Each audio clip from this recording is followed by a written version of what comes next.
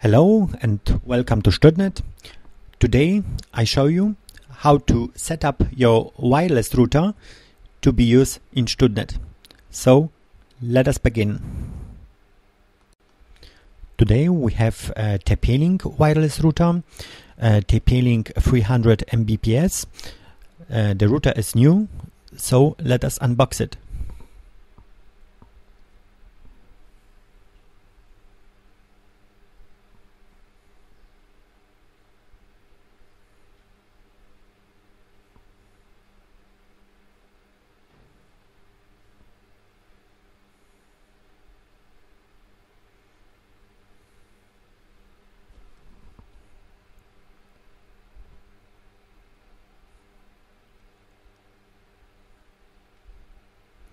In the box you find the short manual for the router,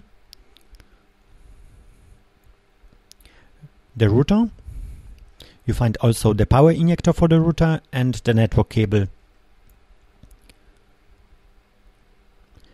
Important uh, notice on this point, uh, so when you uh, buy a router uh, new, you don't have to put this to the factory settings, but when you brought this from at home or uh, you get this uh, from your neighbor and the router was already in use, you must put the router to the factory settings with the small button on the back of the router. On the router you find also a small note. On this note you find also the name of the uh, wireless network and the uh, uh, wireless security key for the network.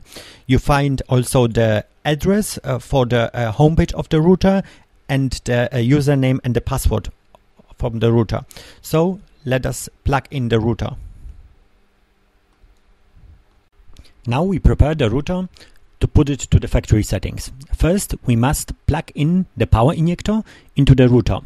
We take the power injector that we found it in the box, we open the cable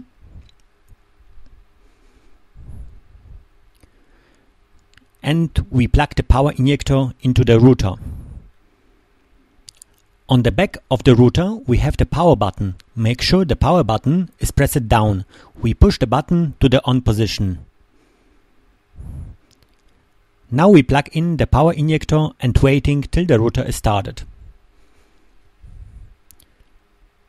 You see this on the lamps. The power lamp is now blinking. We must wait till the power lamp lighting constant. The second lamp, the wireless lamp is now on. Now you see that the router is ready to put to the factory settings. On the back of the router we have two small buttons, reset button and the wireless button. We push now the reset button and hold it for a few seconds till the lamps going off and the router restart.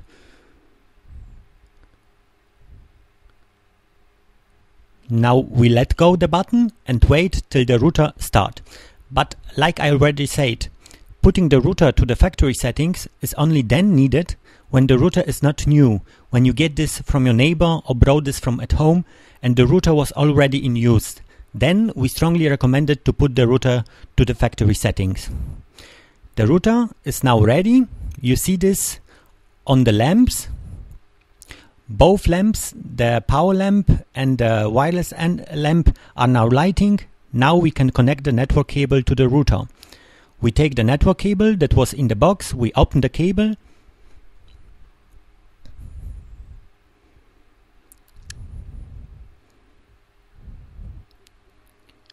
and plug it into the WAN port. It's very important to plug the cable into this port.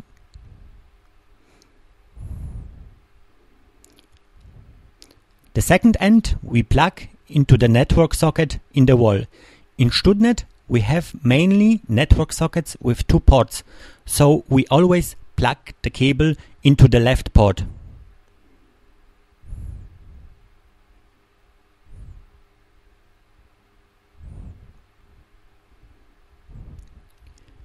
You see now that the lamp from the internet is now going on, but it's still orange. So we wait till the lamp will be green. You see the router is rebooting now, so we wait till the three lamps, the power lamp, wireless lamp and the internet lamp are green and lighting constant.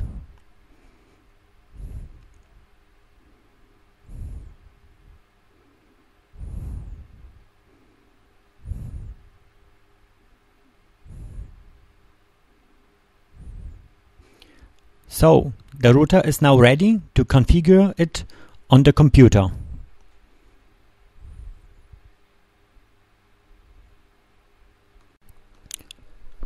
Now we must connect the computer to wireless router.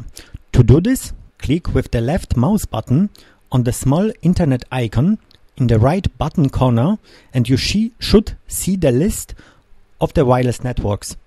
When you don't see the list with the wireless networks, make sure that the small wireless network button is on. Now we're looking for our network in the list and we click with the left mouse button on this network.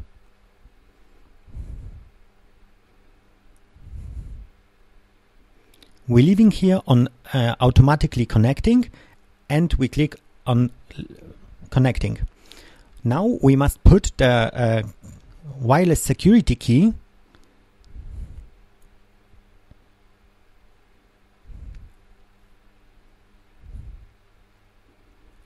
and we click on next. And for all these that are not having our Studnet login client, going now to the internet site to our homepage studentenwerk-leipzig.de slash studnet-client.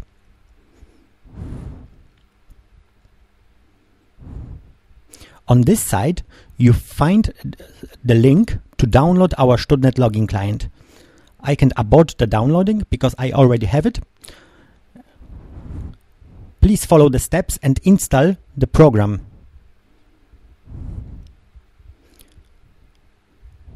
The icon that we have on the desktop, we start the Studnet login client.